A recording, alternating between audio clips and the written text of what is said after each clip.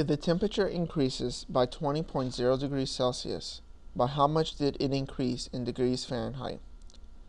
A. 36.0 degrees, B. 68.0 degrees, C. 6.67 degrees, or D. 20.0 degrees. To convert temperature readings from Celsius to Fahrenheit, we multiply the Celsius reading by 1.8 then add 32. However, this question deals with a temperature change. The question states that the temperature increases by 20.0 degrees Celsius.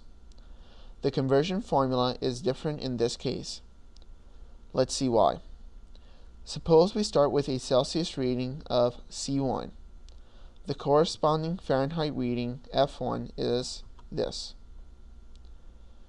Similarly, if we end up with a Celsius reading of C2, the corresponding reading on the Fahrenheit scale is given by F2 in this formula. Now let's take the difference. F2 minus F1 equals 1.8 times C2 minus C1. Note that 32 cancels out when you take a difference between two temperature readings. It is customary to represent changes in quantities using the Greek letter delta. So we can see that the change in the Fahrenheit reading, delta F, is simply equal to 1.8 times the change in the Celsius reading, delta C.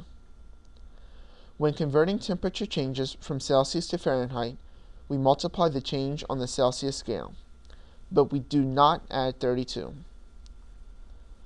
Plugging in 20 degrees for delta C, we get a change of 36.0 degrees on the Fahrenheit scale.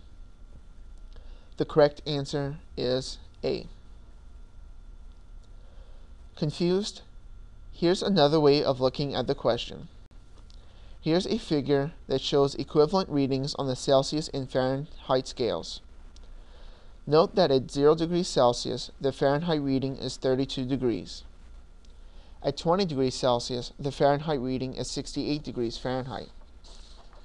We can see that the change on the Celsius scale from 0 to 20 degrees is 20. And the corresponding change on the Fahrenheit scale is 68 minus 32, which is 36. To repeat, a reading of 20 degrees Celsius corresponds to a reading of 68 degrees Fahrenheit but a change of 20 degrees Celsius corresponds to a change of 36 degrees Fahrenheit. Consider a change from 20 degrees to 40 degrees Celsius.